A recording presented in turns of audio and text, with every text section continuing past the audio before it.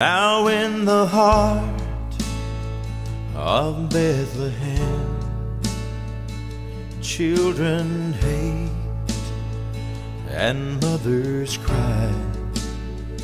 They pray one day the fighting will end, and your coming, not smoke, will fill the sky.